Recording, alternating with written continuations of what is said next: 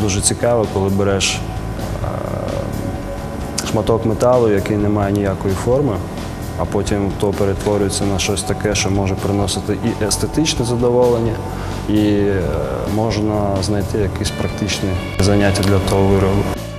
Андрій Берест, вік 34 роки, місце народження місто Миколаїв, освіта вища, інженер-енергетик в агропромисловому комплексі, знання іноземних мов польська, англійська, білоруська, татарська, хобі виготовлення ножів, дитяча мрія дивувати людей, девіз у житті тільки вперед.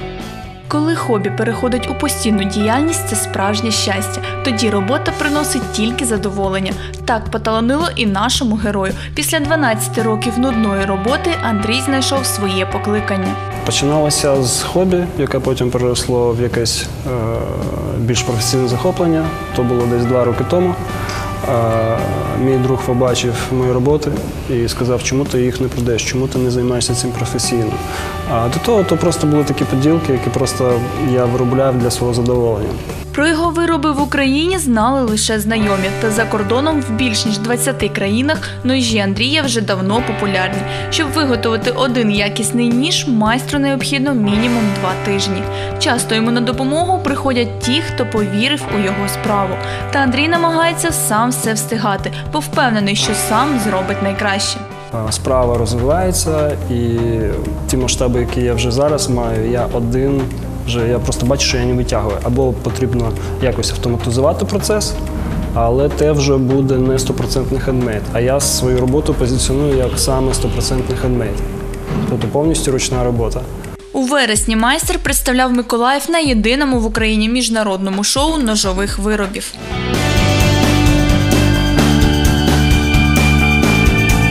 Просто the best. Это должно быть у каждого нажимана возле компьютера. Причем желательно пенечек какой-то вставить. Да, пене- еще пенечек да, сделать.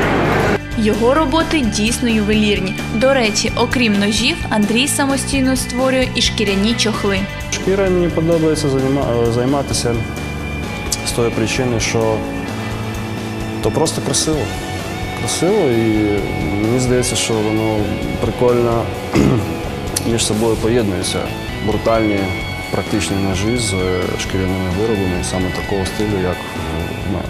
Зараз у чоловіка з'явилася велика майстерня. Тут народжується небезпечна сталева краса. Андрій мріє створити тут таке місце, куди можна буде приводити дітей на його майстер-класи. Не бійтеся мріяти. Спочатку ви чого захотіли, ви замріяли, але дуже багато людей, які на цьому і лишаються. О, то не для мене, то задорого, то ні. Не так. Треба, я замріяв, я захотів. Що я маю для того зробити? Тобто скласти план і вже працювати по плану.